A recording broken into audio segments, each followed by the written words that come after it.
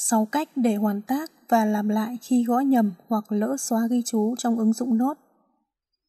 Bạn đã lơ tay xóa hoặc ghi đè lên một ghi chú quan trọng trong ứng dụng Nốt. Đừng lo, chúng tôi có thể giúp bạn khôi phục lại. Có nhiều cách để hoàn tác lỗi khi đang gõ chữ trong Notes trên iPhone hoặc iPad, bao gồm lắc điện thoại hoặc máy tính bảng, mở markup và dùng thao tác nhanh của các ngón tay. Bài viết này của WikiHow sẽ hướng dẫn bạn 6 cách dễ dàng để hoàn tác lỗi gõ chữ và các thay đổi khác trong ứng dụng Note. 1. Sử dụng biểu tượng undo hoàn tác.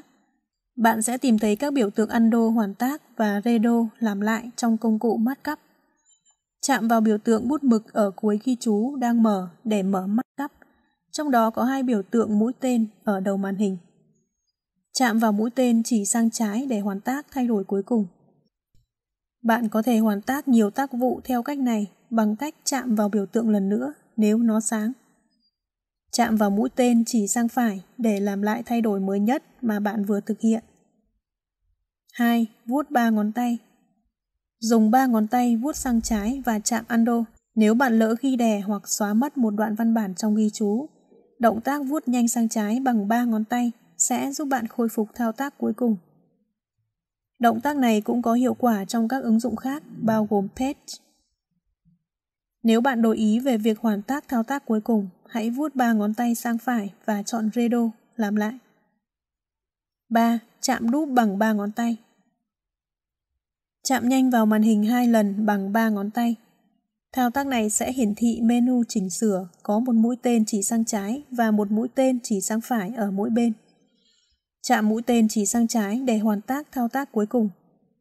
Chạm mũi tên chỉ sang phải để làm lại nếu bạn đổi ý. 4. Lắc để hoàn tác.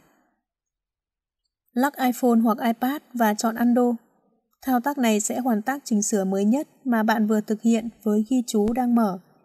Nếu đổi ý, bạn có thể lắc điện thoại hoặc máy tính bảng lần nữa và chọn Redo Tipping. Nếu bạn vô tình kích hoạt sách tu undo lắc để hoàn tác, bạn có thể vô hiệu hóa tính năng này. Chỉ cần mở ứng dụng Setting và vào Accessibility, Touch, chạm nút Set to Undo để vô hiệu hóa.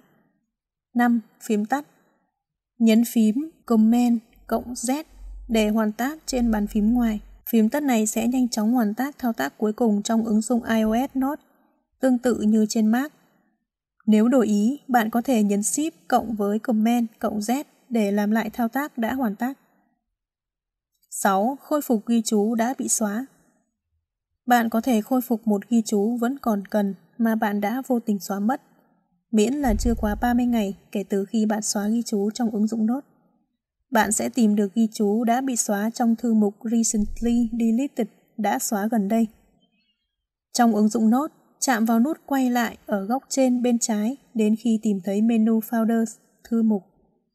Chạm Recently Deleted bên dưới iCloud. Chạm Edit ở góc trên bên phải và chọn ghi chú mà bạn muốn khôi phục. Chạm Move và chọn Notes để khôi phục ghi chú.